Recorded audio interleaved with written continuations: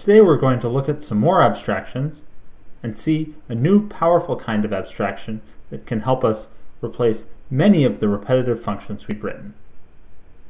Let's get started.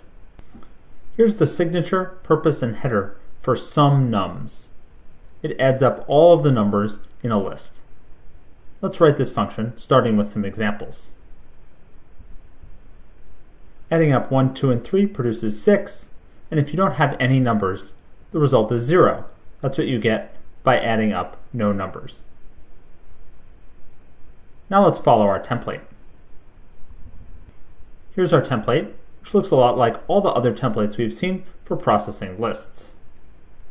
In the empty case, we need to produce 0. In the cons case, we have a number, that's the first, and another number, that's the result of sum nums of rest of lon. We're adding up numbers, so we're going to add these two numbers together. And now we're done, and we can run our program. All our tests pass.